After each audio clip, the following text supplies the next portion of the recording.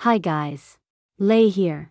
Welcome to our machine learning match prediction of Medvedev versus Sinner, who will play in the semifinals at the Miami Open event in Miami. The current head to head score is 6 to 4. Medvedev comes into this match with a ranking of 4, while Sinner is ranked 3.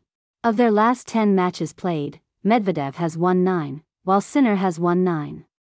The MatchStat.com prediction algorithm uses about 190 variables.